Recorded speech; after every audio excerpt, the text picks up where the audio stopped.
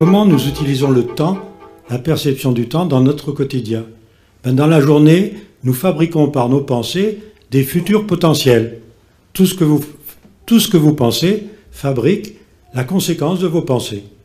Alors évidemment, il y a intérêt à arranger cela avant de le vivre. Alors vous allez vous coucher et pendant la nuit, votre double, car nous on peut considérer que nous sommes dans deux temps à la fois, notre double va arranger ce que nous avons dérangé au cours de la journée. Donc le jour est fait pour fabriquer des potentiels, la nuit est fait pour les arranger en les mémorisant.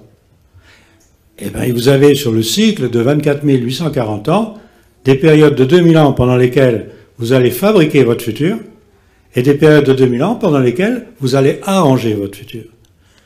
Et c'est là où il y a quelque chose de très intéressant à voir, c'est que pour arranger le futur, c'est la nuit, et pour fabriquer le futur, c'est le jour. Mais nous, nous n'avons qu'un seul double. Un double dans un autre temps, puisque vous avez trois temps si vous me suivez un petit peu, passé, présent, futur, on peut dire ça comme ça. Donc si je suis au cours d'une nuit, je dois arranger mon futur, il faut que mon double soit dans le passé pour avoir une mémoire de ce qui s'est déjà passé. Et puis si je suis pendant le jour à fabriquer des futurs, Là, c'est l'inconnu. Mon double est dans le futur en train de me fabriquer des potentiels. Ça signifie que les incarnations au cours des jours et des nuits de 2000 ans ne sont pas du tout les mêmes. Par exemple, à l'époque du bélier, qui était le jour précédent le poisson, il y a 2000 ans, tous ceux qui naissaient sur Terre avaient leur double dans le futur pour fabriquer du futur. Et maintenant, nous avons vécu la nuit du poisson, dans cette nuit, nous avons le double dans le passé pour arranger les futurs qui ont été bâtis avant. Ces futurs, ce sont des potentiels. Nous les, vivons maintenant en les arrangeant.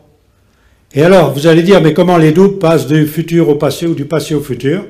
Eh bien, il faut que tous les 2000 ans, il y ait une incarnation spéciale qui vient sur Terre pour faire passer nos doubles d'un côté et de l'autre. Le vieux mot grec qui était utilisé pour cela, c'était anatar, qui en sanskrit est devenu avatar. Il y en avait donc douze, puisqu'il y a six jours et six nuits. Le dernier en date, il y a 2000 ans, il s'appelait Jésus. C'est le douzième avatar, ça n'a rien d'un Dieu, c'est juste un avatar comme les onze autres. Seulement, arrivant le dernier, il fait la synthèse des douze. Ce qui fait que, à la fin du cycle de dédoublement, la meilleure mémoire que nous puissions avoir est en lui. C'est aussi la raison pour laquelle aider d'autres créatures, la dernière, la plus importante étant Mahomet, qui vient 630 ans après, suivant un cycle connu des Mayas, vient pour nous dire, c'est pas moi qui vais revenir à la fin, mais c'est celui qui fait la synthèse et qui s'appelle Issa de Myriam. Alors vous voyez que si je parle comme ça à l'Académie des sciences,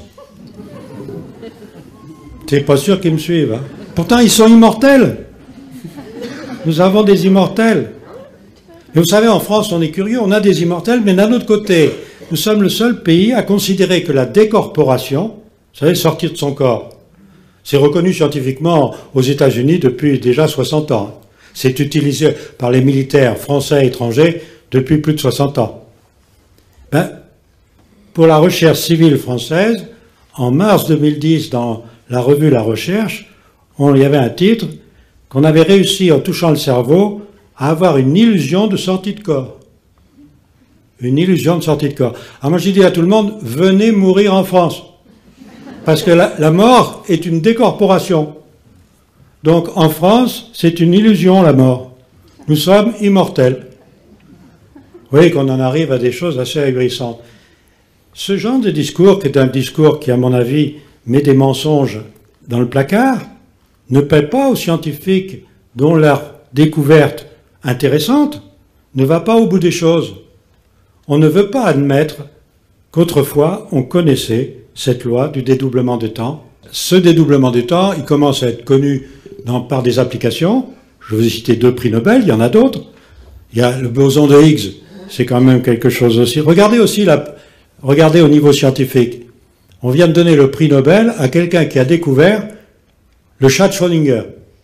C'est-à-dire, il a découvert que il y avait deux états potentiels possibles en même temps pour une particule. Il a pris un photon, il a eu deux photons, et il les a montrés dans deux états différents en même temps. C'est connu depuis longtemps l'histoire du chat Schrödinger. On lui a donné le prix Nobel. Peter Higgs est toujours vivant. Dans les années 50, il a eu l'intuition qu'il avait besoin d'avoir ce fameux boson, qu'on appelle donc le boson de Higgs. On vient de découvrir ce boson. Vous ne croyez pas qu'on aurait pu donner le prix Nobel à Higgs de son vivant? Mais oui, mais c'est que ça pose un grave problème. C'est qu'il y a un créateur. Ah, ben alors s'il y a un créateur, on va quand même pas donner le prix Nobel au créateur. Parce que ceux qui pensent qu'il n'y a pas de créateur, qu'on est là par hasard, ah ben alors le hasard, vous me donnez ça au chat Schrödinger? Voyez qu'on est dans une drôle de société. Alors il faut aller plus vite que la société.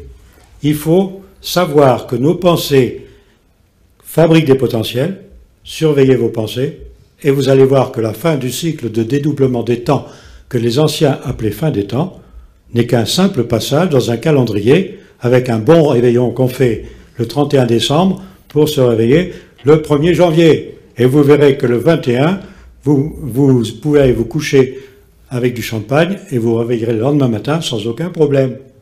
Maintenant, si vous pensez qu'il va y avoir des chaos phénoménaux, votre pensée crée les chaos. Et vous pourrez les vivre. Donc c'est ça qu'il faut faire connaître. C'est la raison qu'on s'est un petit peu précipité pour sortir ce livre, exprès avant le 21, quand on passe d'une époque, d'un jour à une nuit de 2000 ans, dans, il y a 90 ans d'écluse, une écluse de 90 ans, il faut ouvrir la porte d'un côté, la refermer, ouvrir la porte de l'autre et la refermer. Et c'est des multiples de 90 ans qui sont en jeu là-dedans. Il y a 630 ans avant, 630 ans après, et pour l'ouverture, et il y a 90 ans où les deux portes sont fermées qui permet le changement de niveau. Alors sachant ça, ça m'a permis de voir qu'il y avait une figure exceptionnelle qui était Jésus, une autre figure exceptionnelle dont on connaît et la naissance et la mort, c'est Mahomet. Mahomet vient donc fermer la porte de l'écluse, que Bouddha avait fermé et ouvert de l'autre côté. Pourquoi Bouddha? On ne sait pas euh, la date de naissance ni la date de la mort de Bouddha. Mais par cette histoire d'écluse, on peut dater la naissance de Bouddha. Il vient pour ouvrir une porte, Jésus la referme, puis Mahomet vient ouvrir l'autre porte et la referme. Et on s'aperçoit que les vies de Bouddha et de Mahomet, d'après les écrits, sont très symétriques dans ce sens. C'est-à-dire que l'intuition de Bouddha va de mieux en mieux au fur et à mesure qu'il vieillit, tandis que l'intuition de Mahomet va moins bien au fur et à mesure qu'il vieillit. Et il en arrive à dire une chose qu'on ne comprend pas, et qui est pourtant très compréhensible quand on connaît cette loi. Ben, si la montagne ne vient pas à Mahomet, c'est Mahomet qui ira à la montagne. Mais la montagne, c'est en fait, c'est l'information, c'est pas du tout la montagne.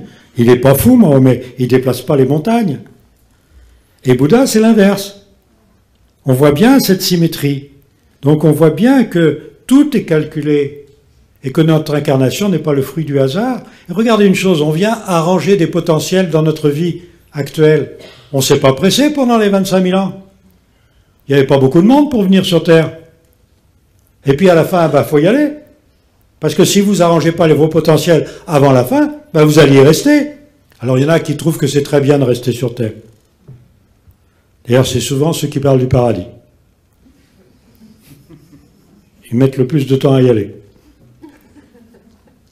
Mais il y a quelque chose qui ne va pas là-dedans quand on ne connaît pas la loi. Il faut absolument connaître la loi.